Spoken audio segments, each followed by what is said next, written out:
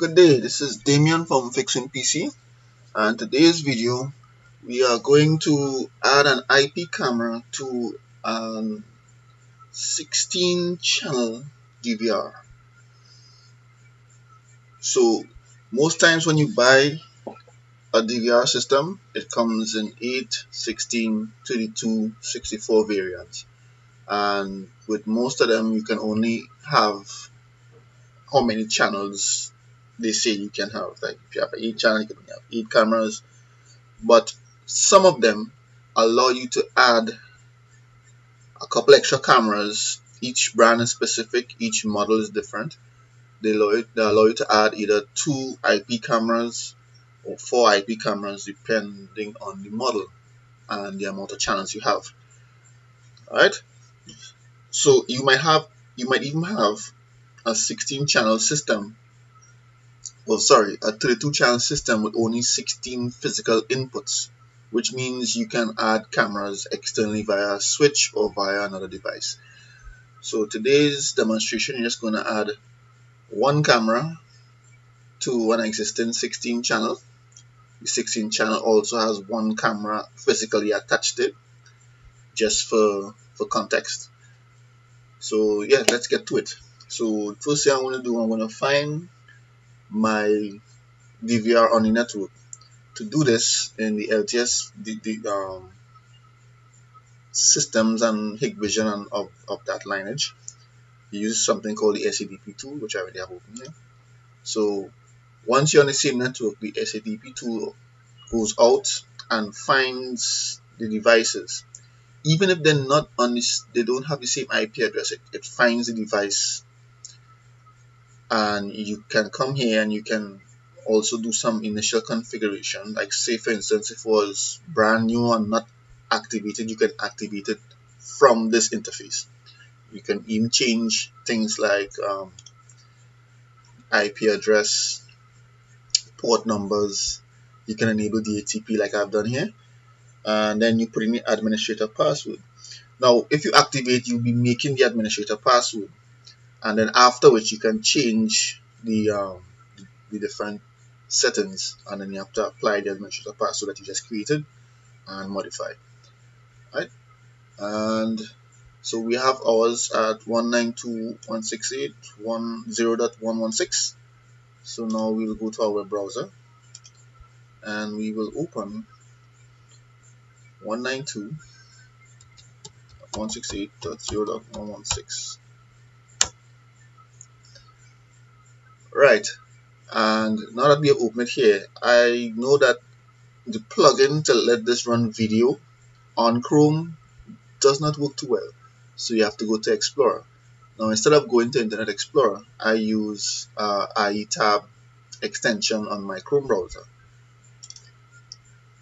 Right. So with that now it creates an Explorer environment within Google Chrome so that I don't have to use a different um, browse altogether. Don't really like Explorer anyway. So we'll put in the administrator password that I made earlier and we'll log in. Alright, so you can see on the side we have 1 to 16 channels. Alright, if we set to play now, one alone will come up. This is the one that's presently in my living room. Alright, so we have one camera. It's right there. Actually sorry this is the kitchen. Right. So we have one camera there ready active ready to go. So to add the camera go to configuration.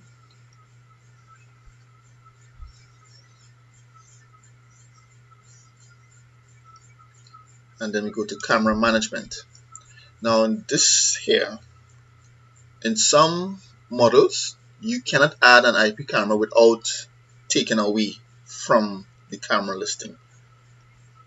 Right but this one allows you to add additional cameras. You have to you have to check your specs when you're ordering DVRs which is why I always say work with a consultant a professional to get the specifications right so you can get exactly what you want. So anyhow we go to IP camera and we select add.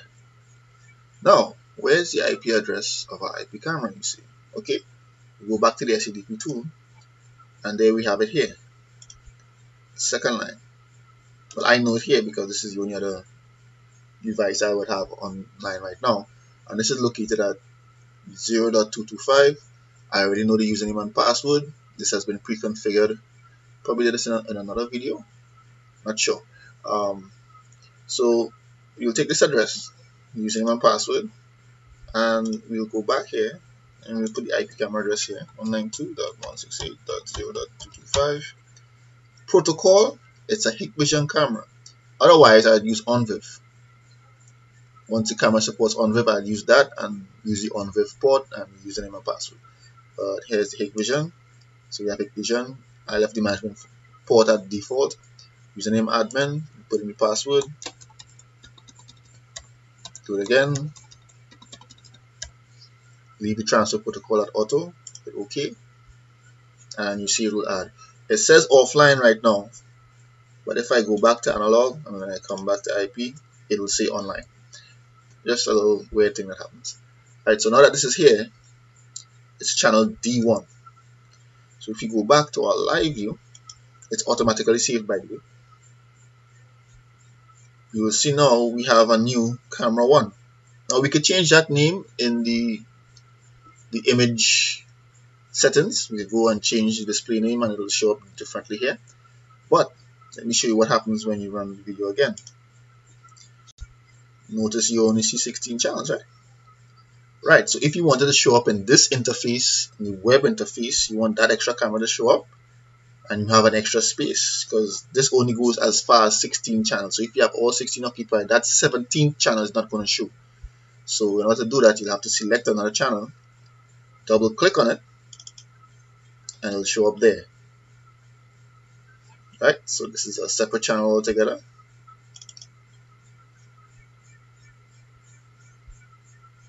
Right. So there it is. Right so now that how it that's how it shows on the web browser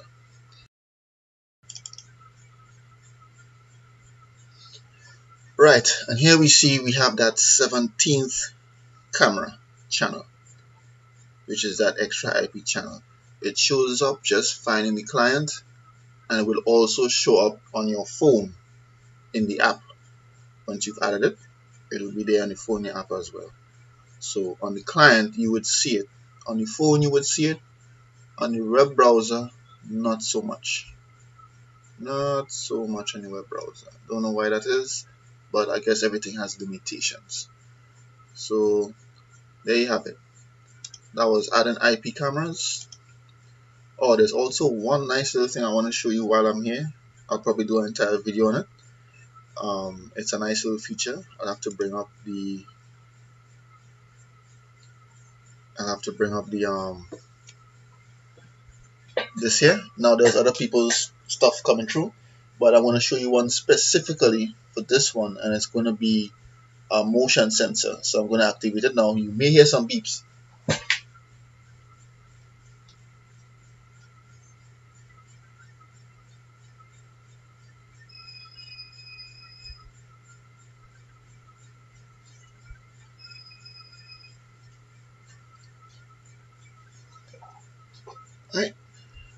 So you see it right there. Encoding encoding device test DVR1 test A1 DVR1 it's something I'm working on right now to try to get it work, to work the way I want it to work. So what happens is that I have a motion sensor attached to the alarm inputs on the DVR I'm trying to have some fun with that right now. But from what I can be able to do so far is um, have the DVR uh, let me show you the settings really quick I can have the DVR get down to events really quick. Alright. Now alarm input. So I have it set up on first channel. It's a normally closed for the, uh, motion sensor labeled motion sensor. Right and enable the input handling so that it does what it's supposed to do. And the linkage method I have set up is an audible warning which will be the beeps I could send an email out if I have email configured. It will notify the surveillance center, which is the client, which is this what you get in here right now, the sensor alarm and start and stop. Alright. Also, it's supposed to trigger channel 1.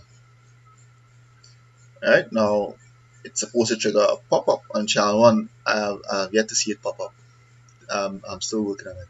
The only thing I've seen that triggers pop-ups is motion detection.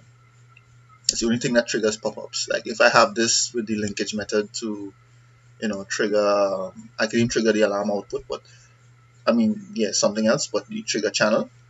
When I do this and I have full screen monitoring on, as with the alarm input, do I have full screen monitoring on as well? Yep. It usually gives you a full screen view of what is happening. Alright, so and also just how the alarm works on these um, surveillance clients. When there's a pop-up alarm usually just press record. It brings up a screen. It tells you what's happening. You see all what you set up.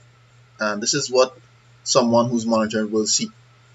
They will see activity movement whatnot and they can check what's the next alert see what's happening run the video to play it see what's going on download it record it and all that good stuff. So alright. This has been Damien. Thank you for watching my videos. Thank you to all my subscribers. Thank you for all the support. I know I haven't made a video in a while but I'm trying to get back to it. I've been a little bit busy and I'm really trying to get time to structure these videos properly. This one was just quick because this one has to go out like literally next half an hour to be installed. So I just thought I would squeeze this one in there to benefit everyone. Uh, if you like it thumbs up. If you didn't thumbs down give me a comment on anything that I missed out that you will, probably would have wanted to see and I'll probably get around to either making a video about it or at least point you to something that you can use to edify yourself concerning that particular function. Okay so thank you for time for, for signing in and have a nice day